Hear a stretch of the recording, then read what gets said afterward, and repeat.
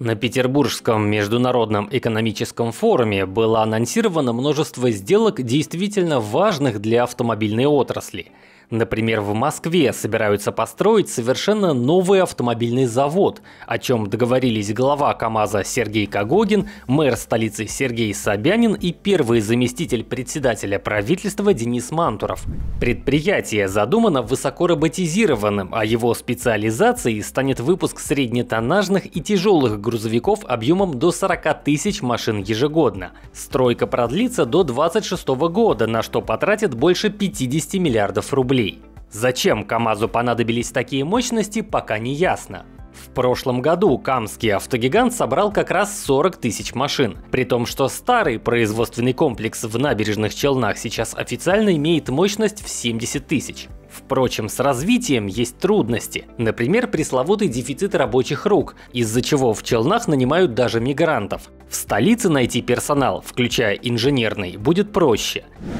Хотя, например, компания Renault считала иначе. Напомним, что московский завод, который теперь называется «Москвичом», французы хотели закрыть, а выпуск Каптюров и Дастеров перенести в Тольятти. Пока одни возводят новые заводы, другие пытаются перезапустить старые – так, еще с осени 22 года законсервирован петербургский конвейер Toyota. До этого предприятие на протяжении 15 лет выпускало седаны Camry и кроссоверы RAV4. За последние полгода даже на правительственном уровне не раз анонсировалось, что площадка после долгого простоя займется выпуском автомобилей под маркой Аурус. И вот, договор об этом на ПМФ подписали губернатор Санкт-Петербурга Александр Беглов и глава Ауруса Андрей Панков.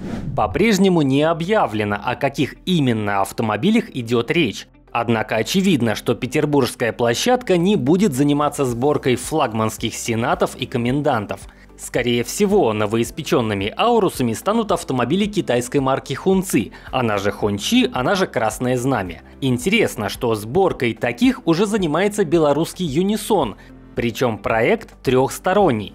В нем помимо завода и белорусского правительства участвует и московское представительство материнского концерна ФАУ, которое и занимается импортом хунцы в Россию –